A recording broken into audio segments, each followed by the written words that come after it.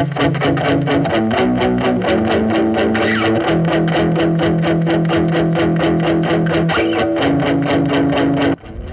time to time, people will ask me, Jason, why don't you go on a podcast and debate Russell J. Gould or Mark lowercase k Kishon Christopher? Why, why don't you get like a third neutral party involved and debate those men? And my answer to that is always why? Debate and argument happens when there are opinions being shared. If someone has closure and has the facts and a continuance of the evidence of the facts, then why do they need to debate anything? Why does anything need to be argued? Why would I need to speak with either of those two men, Russell or Mark? Like, what would be the point of that? I don't want anything that they have. I don't want titles. I none of their possessions. I there's nothing that they have that I could ever possibly want. I certainly don't want their friendship. Because with friends like that, who needs enemies? right? So there is absolutely positively no reason for me to go out of my way to establish contact with either of those people.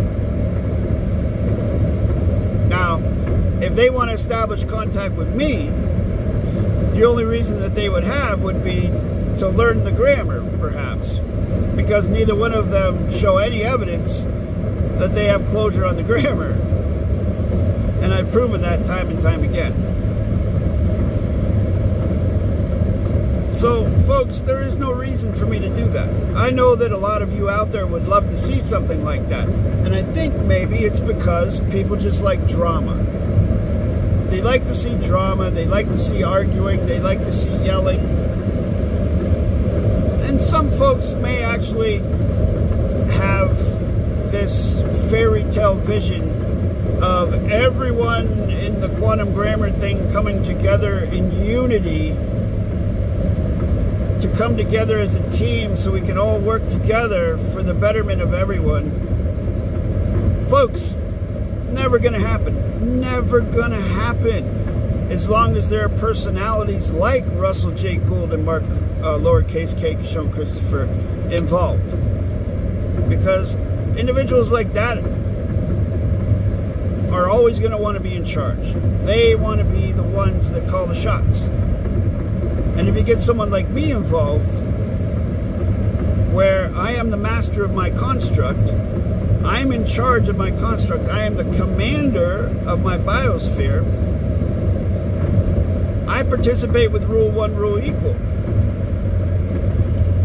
Whenever I have communicated with either of those men, I have never ever used a title to communicate with them. I have never called Russell chief or commander or anything like that. I call him Russell in an email communication.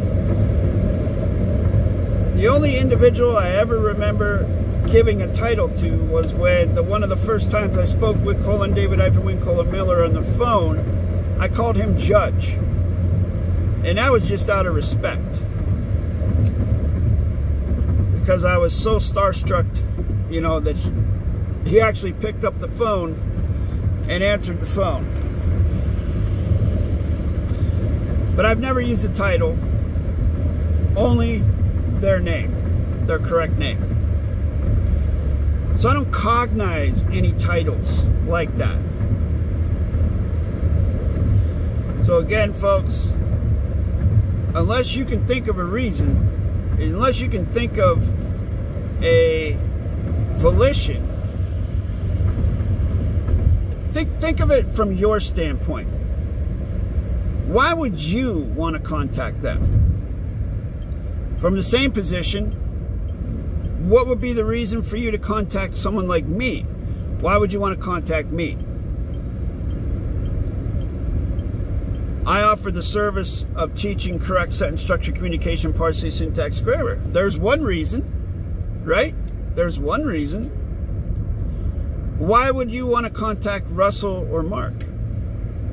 Well, if you participate with the titles they claim, if you truly believe that, for example, Russell is your commander in chief, then one reason you may have to contact him would be to, I don't know, maybe remove the government that's in place and put better people in there. You know, get rid of Biden, get rid of uh, Kamala, get the great Kamala. get rid of all those people and put better people in there. Nah, I'm just talking in la la land right now. I don't even know why I'm going off like this. Again, it's the sound of one hand clapping. It's all bullshit. It's all fiction. Russell, Mark, the whole thing. Kamala, Sleepy Joe. It's all fiction. Trump, fiction, fiction, fiction. So that's the only reason you would have to contact him. And how would you contact him anyways? Tell me. How would you contact Russell J. Gould?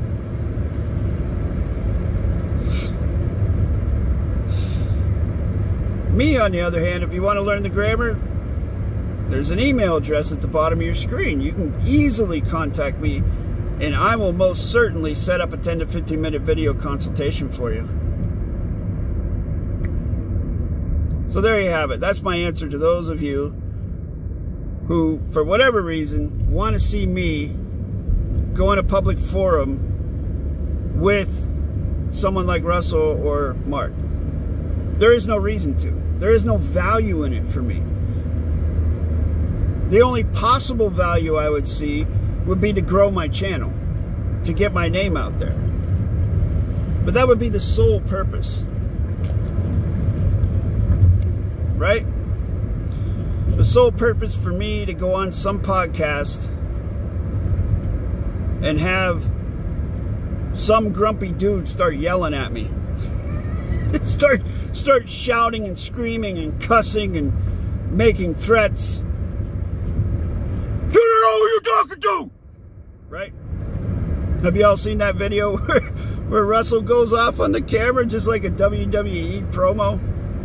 Like he's Hulk Hogan or the Macho Man or something? That would be the entertainment value of it, right? But I'm, you know, guys, I'm over 50 years old. I, I don't need. I'll leave that for the young folks out there. Hope I didn't scare you too bad when I yelled at the camera like that. I think I heard my voice doing that. I think I'm going to have to get off here. My throat hurts a little bit. Again, sorry if I scared anybody out there. Peace.